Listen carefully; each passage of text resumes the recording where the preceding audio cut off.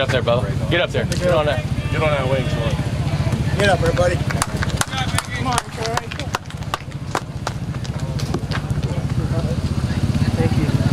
Troy, the flag's behind you. Here he is, your begin done!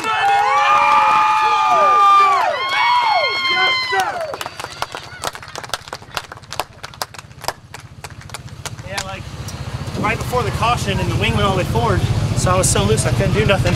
Not to mention it's hitting me in the damn head and pissing me off. I wanted to rip it off, but it's expensive.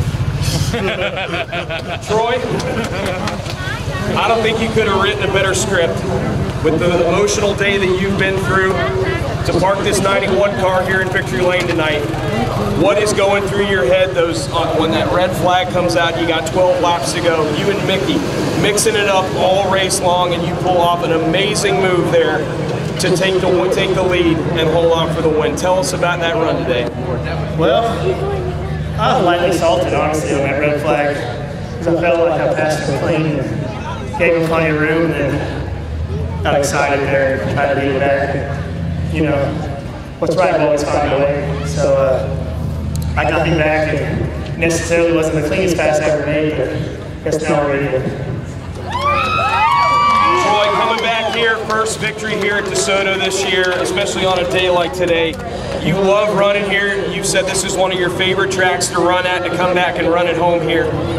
I mean, you're back in Victory Lane at, at DeSoto again. How big is that? Yeah, and you know, uh, like everyone knows here, 2 a.m. off from all, right? And uh, they say, you go racing? I said, no, you don't go racing. That's for mama. That's for mama, uh, big guy. you know, we get here. I say, even if I don't win this thing, which I kind of expected in win 91, and uh, just the process of being here, especially at home, you know, I wasn't far away. I wasn't with strangers, I was with family. And actually, the fans here, I had a bunch of them writing on Facebook and sending nasty stuff. And, you know, I a bunch of them, and I ain't read them all, but I tell you, they mean a lot to me. And, uh, you know, special place.